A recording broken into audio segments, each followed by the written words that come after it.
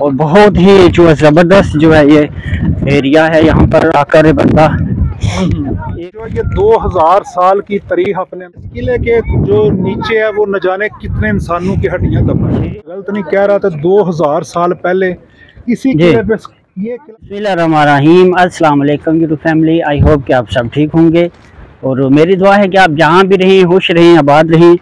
मैं हूँ आपका होस्ट सैफ राजा और आप देख रहे हैं मेरा यूट्यूब चैनल आज एक बहुत ही यूनिक वीडियो लेकर आपकी खिदमत में हाज़िर हैं। आज ग्रीस के कैपिटल सिटी इथन में मौजूद हूँ और यहाँ एक बहुत ही तारीखी मकाम है। यहाँ हम जो विज़िट करने जा रहे हैं और मेरे साथ आप देख रहे हैं, बहुत ही फ़ेमस पर्सनालिटी है। ये जर्मनी से आए हैं राजा बिलाल साहब। पहले भी आप इनकी एक दो वीडियो देख चुके हैं और आज ये लाइव मेरे साथ हैं। ग्रीस में आए हैं ये विज़िट करने। मोस्ट वेलकम इनको दिल के था गहराइयों से खुश आमदीद और इनका जर्नी इनसे पूछते हैं कि कैसा लग रहा है इनको यहाँ ग्रीस में आकर? अस्सलाम वालेकुम बिलाल साहब। जी वालेकुम सलाम। जी साहब क्या हाल है? ठीक है अल्हम्दुलिल्लाह ठीक। आप कैसे हैं? जी अल्हम्दुलिल्लाह अल्लाह पाक का शुक्र है। जी आप ग्रीस भी आए हैं मोस्ट वेलकम। आपको कैसा लग रहा है यहाँ ग्रीस में. आकर? जी माशाल्लाह साहब ग्रीस जो है ये तो एक पूरे वर्ल्ड की हिस्टोरिकल कंट्री है। यहाँ तो बल्कि पूरी दुनिया की ये सबसे पुरानी जो सकाफत है और पुरानी जो तरी है वो ग्रीस लैंड की है। जी बिल्कुल। और ग्रीस में से बेलासूज इथन्स की है। जी जी बिल्कुल। और इथन्स जो है उसके जो सबसे तरीही मकाम है वो ये जगह जहाँ हम इस टाइम खड़े हैं। जी बिल्कुल ये तो है। माशाल्लाह आए हैं आके विज़िट कर रहे हैं देख रहे हैं बड़ा प्यारा लग रहा है। जी बिल्कुल ये आप सबको भी साथ साथ विज़िट करवाएँगे इंशाल्लाह। और जो वेदर है उसके आप जर्मनी से आए हैं उसमें और यहाँ ग्रीस का जो वेदर है उसमें क्या डिफरेंट है डिफरेंस आप देख रहे हैं? सर्दी इधर ज़्यादा है या उधर जर्मनी में ज़्यादा है? आ, सर्दी साहब भाई मैं जब मैंने उधर कल से फ्लाई किया जर्मनी से जी। तो उधर तो मौसम कुछ नॉर्मल होने की तरफ़ जा रहा था। जी जी। मगर मैंने तो ये सुना था कि ग्रीस में मौसम कुछ ठीक है टेम्परेचर ठीक होगा। मगर जब मैंने यहाँ लैंड किया एयरपोर्ट पे तो बारिश हो रही थी और बहुत ज़्यादा सर्द मौसम था। जी बिल्कुल। तो मैं तो सोच रहा था कि थोड़ा मौसम गर्म होगा एंजॉय करेंगे मगर सर्दी इधर जर्मनी से ज़्यादा पड़ रही है फिर। जी बिल्कुल नाजरीन ऐसा ही है। यहाँ पर जो जी नाजरीन ये आप देख रहे हैं बहुत हाइट में ये जो आगे जो हम देख रहे हैं अभी ऊपर जाकर भी आपको सारा हिथन नज़र आएगा यहाँ से और आपको यहाँ से लाइव दिखाएँगे।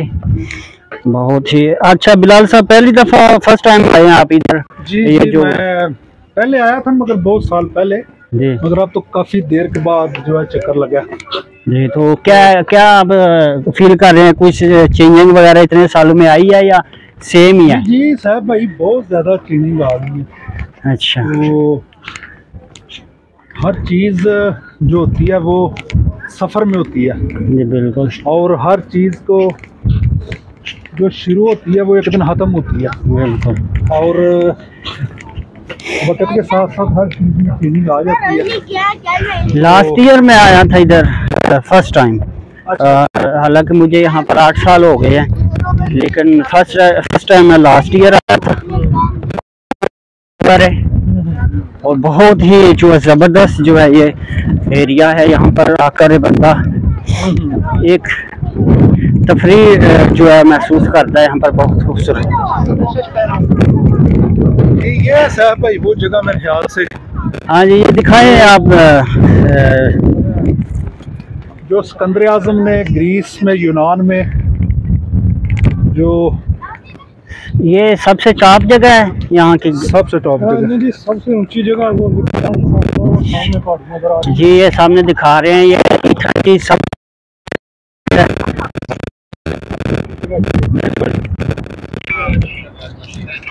तो यहाँ पर आप कह रहे कि पहले भी आए हैं। जी जी। इस जगह की हिस्ट्री जो है उसके बारे में कोई बता सकते हैं आप? देखें साहब भाई ये मैं आपको पहले भी बता रहा था कि ये वो हिस्टोरिकल जगह है ग्रीसलैंड की। जहाँ आज से कम पेश अगर मैं गलत नहीं कह रहा था 2000 साल पहले इसी। किले पे ये किला सबसे पहले ग्रीस में इस सिकंदर आज़म जो पूरी दुनिया को फतह करने के लिए निकला था जी जी। उसने सबसे पहले ये किला फतह करने की कोशिश की थी। जी। और ये जो आप पत्थर नज़र आ रहे हैं और ये पीछे सारा व्यू नज़र आ रहा है ये आज से 2000 साल पहले की हमें तारीख सुना रहे हैं हमें अगर हम इनको कान लगा के सुने तो ये हमें महसूस होता है कि ये जो पत्थर है ये जो है ये 2000 साल की तारीख अपने अंदर लिए हुए ये किला जो है। जी बिल्कुल। तो इस हवाले से ये काफ़ी तारीखी है। ये नाजरीन दुनिया भर से टूरिस्ट जो है वो इस मकाम पर आते हैं।